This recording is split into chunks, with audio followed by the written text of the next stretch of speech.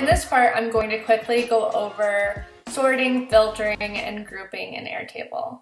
So within your base, you can filter, group, and sort within each table.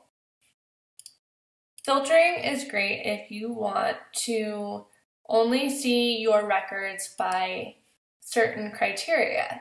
So let's say the type is rugs and we want to only see it uh,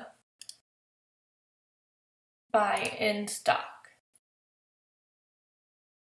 So right now I'm seeing rugs that are in stock and out of stock and that's because I have or here instead of and. So that's one thing to keep in mind is um, how you're thinking about your filters, if they're mutually exclusive or not, and picking the right operator and or or.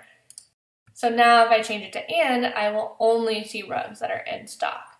And when you are filtering, the, the field types that you are filtering on will be the shade of green. So you can tell that you're in a filtered um, view. Filtering is great if you're going to share a view so that you can um, only share certain data with the person with the link. Grouping, you, um, you can uh, group records based off field type. You cannot group by the attachment field type though.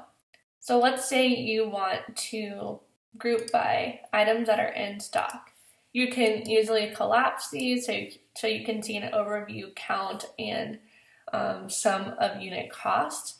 And this is also a great way for you to drag and drop items if you want to change um, values quickly. So this is in stock. If I drag it up here, um, it will show up as uh, not in stock. So as you drag and drop, you reassign values. And you can see here, this little shaded purple column shows me that I have updated based off the in stock, not in stock field type.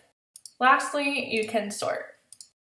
And you can pick a field to sort by, and you can keep sorted if you always want to see information in a particular order.